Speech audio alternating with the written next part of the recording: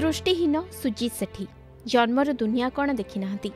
ଗରିବ ଦାରିଦ୍ର୍ୟତା ଭିତରେ ବଢ଼ିଥିଲେ ସୁଜିତ କିନ୍ତୁ ଜୀବନର ଗତିପଥ ଆଗକୁ ବଢ଼ିବା ସହ ବଢ଼ିଥିଲା ସୁଜିତଙ୍କ ସମସ୍ୟା ଢେଙ୍କାନାଳ ଜିଲ୍ଲା ପର୍ଜଙ୍ଗ ବ୍ଲକ ଅନ୍ତର୍ଗତ ମାଣିକମାର ପଞ୍ଚାୟତ ଅଧୀନରେ ଥିବା ସରକିଶରୀପାଲ ଗାଁରେ ସୁଜିତଙ୍କ ଘର ଦିବ୍ୟାଙ୍ଗ ସୁଜିତଙ୍କୁ ସରକାରଙ୍କ ତରଫରୁ ଭତ୍ତା ଓ ପାଞ୍ଚ କେଜି ଚାଉଳ ମିଳିବା କାଠିକର ପାଠ ତେବେ ଏହାକୁ ନେଇ କ'ଣ କହୁଛନ୍ତି ସୁଜିତ ଆସନ୍ତୁ ଶୁଣିବା ସାର୍ ମୋର ଘର ଦ୍ୱାର କିଛି ନାହିଁ ସାର୍ ମୁଁ ଅନ୍ଧନୁକ ସାର୍ ମୁଁ ଯେତେ ଚେଷ୍ଟା ଭିଡ଼ିଓ ଟିକେ କଲି ସାର୍ ଚାଉଳ ପାଉଥିଲି ସେ ଭିଡ଼ିଓ ସାର୍ ଗଲେ କମ୍ପ୍ଲେନ୍ ଜଣାଇଲି ସାର୍ ଭିଡ଼ିଓ ବି କହିଲେ ସାର୍ ମିଳିବ ସେ ସାର୍ ମିଳିଲା ନାହିଁ ତାପରେ ଘର ଦ୍ୱାର କିଛି ନାହିଁ ବାହାଘର ହେଇଛି ଝିଅଟିଏ ହେଇଛି ସାର୍ ମୋ କଥା କେହି ବୁଝିବାକୁ ନାହିଁ ଭତ୍ତା ଖାଲି ଯାହା ପାଞ୍ଚଶହ ଟଙ୍କା ପାଉଛି ଘର ନାହିଁ ତାପରେ ଚାଉଳ ବି ନାହିଁ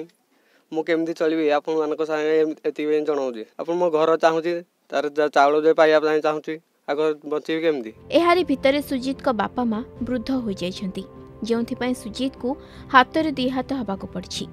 ଏହାରି ଭିତରେ ସୁଜିତଙ୍କ ଜନ୍ମ ହୋଇଛି ଏକ ଛୋଟ ଝିଅ ସେଥିପାଇଁ ସେ ଅନ୍ତୋଦୟ ଯୋଜନାରେ ପଇଁତିରିଶ କେଜି ଚାଉଳ ସହ ପ୍ରଧାନମନ୍ତ୍ରୀ ଆବାସ ଯୋଜନାରେ ଘର ଖଣ୍ଡିଆ ପାଇଁ ଆବେଦନ କରୁଛନ୍ତି ଯାହାକୁ ନେଇ ପଞ୍ଚାୟତର ସରପଞ୍ଚଙ୍କଠାରୁ ଆରମ୍ଭ କରି ଗୋଷ୍ଠୀ ଉନ୍ନୟନ ଅଧିକାରୀଙ୍କୁ ବାରମ୍ବାର ଗୁହାରି କରି ନେହୁରା ହୋଇଥିଲେ ମଧ୍ୟ କେହି ଶୁଣୁନଥିବା ସେ ଅଭିଯୋଗ କରିଛନ୍ତି ଆମ ସାପ୍ତାହିକ କାର୍ଯ୍ୟକ୍ରମ ଉତ୍ତରଦାୟୀରେ ଏହାକୁ ନେଇ ପ୍ରସଙ୍ଗ ଉଠାଇଥିଲେ ସ୍ଥାନୀୟ ବାସିନ୍ଦା ସିଏ ହେଉଛନ୍ତି ଜନ୍ମରୁ ଅନ୍ଧ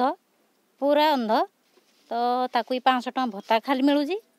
ଚାଉଳ ଘର ପରିବାର ସହିତ ଥିଲେ ଚାଉଳ ପାଞ୍ଚ କିଲୋ ମିଳୁଥିଲା ତାଙ୍କର ଏବେ ସେ ବାହାଘର ହେଇଯାଇଛନ୍ତି ଗୋଟେ ଛୋଟ ଝିଅଟିଏ ହେଇଛି ତାଙ୍କ ସ୍ତ୍ରୀ ବି ଅଛନ୍ତି ଚଳିବା ପାଇଁ କିଛି ବି ନାହିଁ ପାଞ୍ଚ କିଲୋ ଚାଉଳ ଆଉ ପାଞ୍ଚଶହ ଟଙ୍କାରେ କିଏ କ'ଣ କେବେ ଚଳିପାରିବ କି ଚଳି ତ ପାରିବନି ତ ସେଥିପାଇଁ ସେ ସରକାରକୁ କିଛି ସାହାଯ୍ୟ ମାଗିବା ପାଇଁ ଚାହୁଁଛି ତ ସେଇ ସାହାଯ୍ୟଟା ତାକୁ ଯଦି ମିଳିଯାତା ତାହେଲେ ତା ଜୀବନଟା ଟିକେ ଧନ୍ୟ ହେବ ତେବେ ଦିବ୍ୟାଙ୍ଗ ସୁଜିତଙ୍କ ଦୁଃଖ କେବେ ଶୁଣୁଛି ପ୍ରଶାସନ ତାହା ଦେଖିବାକୁ ବାକି ରହିଲା ଢେଙ୍କାନାଳ ପର୍ଯ୍ୟଙ୍କରୁ ସୂର୍ଯ୍ୟକାନ୍ତ ବେହେରାଙ୍କ ରିପୋର୍ଟ ଅର୍ଗସ୍ ନ୍ୟୁଜ୍